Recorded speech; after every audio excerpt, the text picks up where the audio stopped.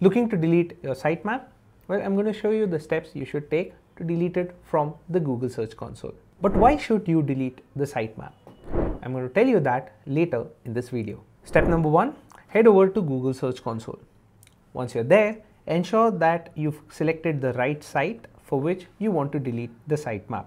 Once you've done that, I want you to head over to the indexing tab and click on sitemaps. Now this page will show all sitemaps that have been submitted to the Google Search Console. Identify the sitemap that you want to get rid of and once you're you've clicked on that page, right in the corner you'll see three buttons which have more options.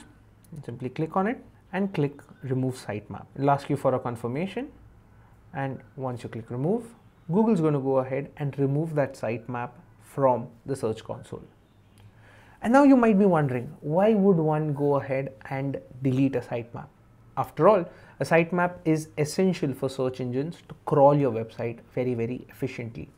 So I'm going to tell you the reasons now. As a publisher, if you've deleted a couple of URLs from your website, the old sitemap will cause Google Search Console to show up 404 errors because these links are visible in your sitemap but not on your page when the Google crawler visits it. As a result, you will need to delete the sitemap and upload a fresh one without the links that cause a 404. Another reason that comes to mind is if you have deleted sections of your website. Say for example, if you're covering news, sports, travel, and you plan on shutting travel as a vertical down entirely your old sitemap will still have links to travel and that will cause the Google crawler to go and search for them, returning a 404 error. Not only that, you're also wasting Google's crawl budget here. So it becomes essential for you to redirect them to the right links. And as a result, deleting the old sitemap, uploading a new one is the best way forward. If you've restructured your website, changed a couple of URLs, the navigation part as well, that's when changing the sitemap becomes crucial.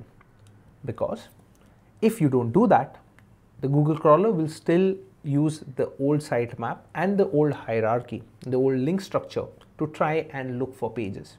It's not going to find it and it's going to throw a bunch of errors.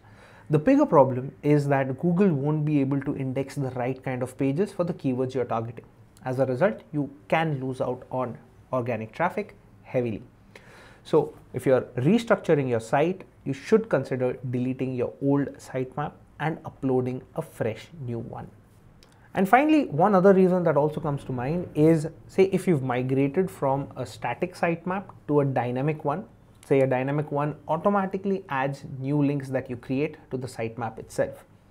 So the older sitemap is not going to be all that relevant.